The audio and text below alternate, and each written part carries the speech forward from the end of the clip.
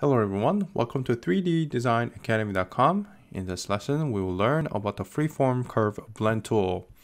The tool can be accessed under curve edit, duplicate, click and hold, and it is the fourth tool on the right.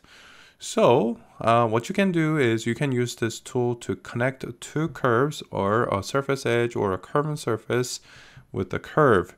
It is kind of like a freeform blend, except it is designed specifically for curves. So let me show you guys how to use it.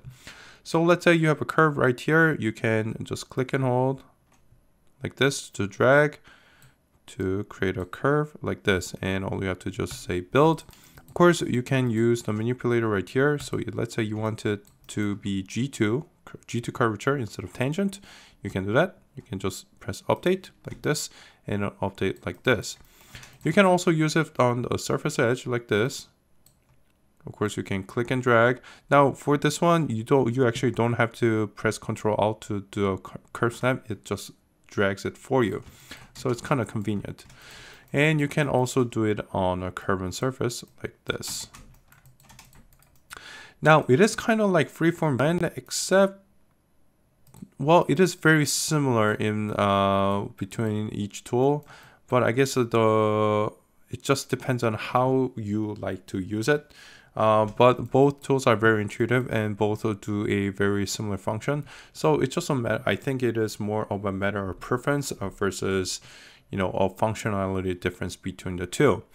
Uh, there are some things that you can adjust. Uh, you can use the side, uh, you can adjust the continuity. So you can go from all the way from position to G3. So if you were just to the position, it just drags like this. And you can always go to G3 if you want high, very high fidelity class A surface. And you can do that also here like this. And you get a nice curve like this. Okay, uh, now one thing that you have to note is that manipulator position is very important because let's say you want to do this, uh, but if you drag it somewhere in the middle, that's where it's actually going to start. So if you look at the CV structure, let me just turn this off. Actually, I might, I might be better to just leave it on. You'll notice that the CV structure actually uh, of the blend curve actually starts from here instead of on the edge. So you just have to make sure that if you are going uh, if you want it to go all the way to the end you um, just have to make sure that it is so. So in, in this case you can just drag it back and update it like this and then update the curve so that we got a nice blend curve between the two curves. Okay so that's a freeform curve blend tool. Thank you guys for watching and see you next time